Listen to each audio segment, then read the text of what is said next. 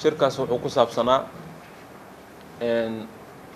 waxaa beryahan caada laga dhigtay in dadka soomaaliyeed shacabka ku nool meel kastay joogaan magaalo kastay joogaan in ururka nabaddiidka ee shabaab ee lacaga baad ka qaadaan iyagoo lacagahaas magacyo badan u kala yeeray sakawaad inay dhahaan sidoo kale taakuleynta mujaahidiinta iyo magacyo badan marka sidaas darteed dowladda soomaaliyeed indhaha way ka qabsan weyday.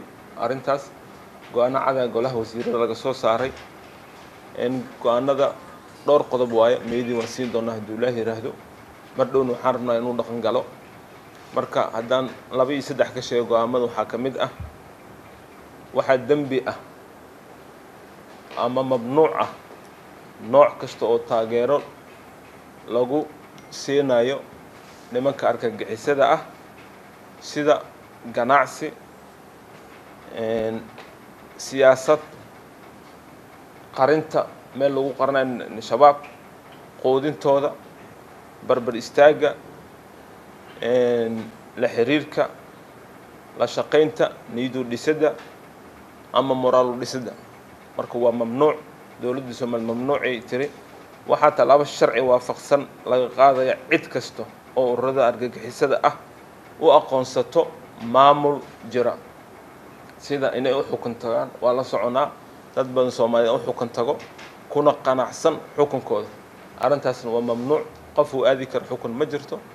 Sidoo kale qof la shaqay kara ma leh. Sidoo kale waxaan rabnaa hay'adaha isgaarsiinta inaan halkan ugu dirno go'aanka. Golaha wasiirada ay gaareen waa mamnuuc inay u xawilaan lacagaha sida e v c balaaska saad email iyo inta kaloo jirto. Iyadana sidoo kale waa mamnuuc inay udada argagixisada ay hoolaas u fududeeyaan.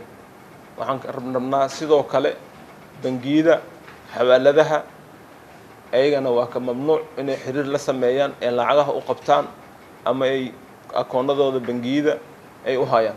Waa mamnuuc waa go'aan dowladeed.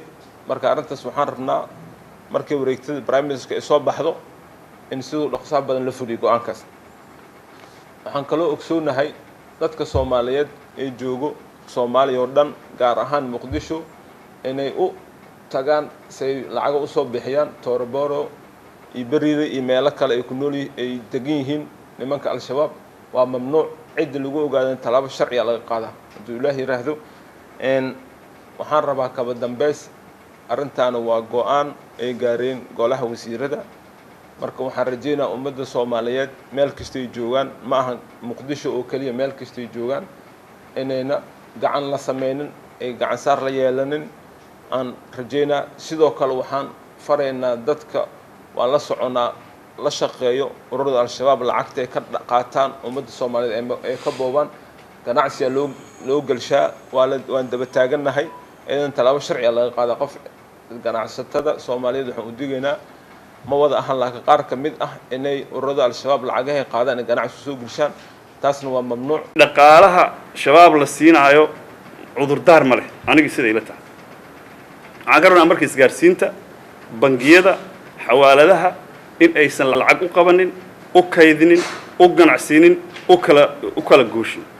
Wixii hadda ka dambeeyana qorshe dabcan waxaa jiri doono si dhow lagula socon doono oo xisaab la furan kara aysan jirin iyadoon dowladda ogeyn oo xoolo la bixin kara aysan jirin dowladda iyadoo ogeyn.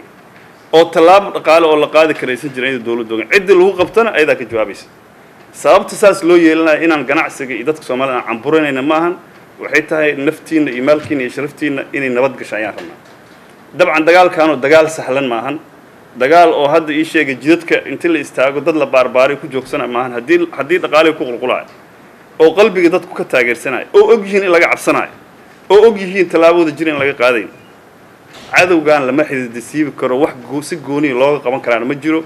Waxaan rabnaa dagaalka shabaab lagula jiro iyo argixisada iyo nabaddiidka wixii hadda ka dambeeya inuu ballaaran doono xoogaysan doono kulligeenna ay tahay inaan ka qayb qaadano haddii ilaah yidhahdo marka waxaan ka codsanaynaa dadka soomaaliyeed meel kastoo ay joogaan inay waxaana la gartaan dowladda ay gacan siiyaan ciidamadooda ay garab istaagaan sida ugu dhaqsiyaha badanna haddii ilaah yidhaahdo marba haddii dhaqaalaha laga cuuriyaamiyo jiritaankooda ma sii jiri karo.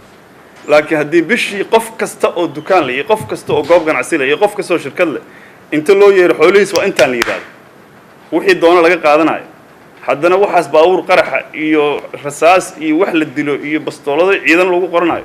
Dagaalkaa ma istaagayo dagaalka waxaa joojin kara waxaa kow ka ah dadka dhaqaalaha bixinaya fadlan wixii maanta ka dambeeya cid loogu dulqaadan doono inay shabaab dhaqaale siiyaan ma jirto. Waxaa laga codsanaynaa ganacsatada aada wixii ka dambeeya saacaddan shirka jaraa'id la qabtay. Ciddii toortoorow iyo ii sheegeen maxaan ku dhahaa meelaha ay shabaabku degan yahay aadaysa waa la qabanaa. Ciddii ka imaanaysana waa la qabanaa su'aalaha la weydiinaa. Ciddii lagu tuhmo ama lagu xaqiijiyo in ay dhaqaale geeyeen u xugun tageen shabaabka meelaha ay joogaan ay tagaan maxkamada la saaraa. Hantidooda waa lala wareegaa. Wax turiin la yidhahdo hadda kadib haddii la yihahdo yihahdo ma jirto dadka soomaaliyeed markii hore haddaysan xaaraan loo aqoonin shabaab wax la siiyo wixii maanta ka dambeeya waa xaaraan. Ciddii loogu ciddii ciddii lagu arkana shabaabkay la mid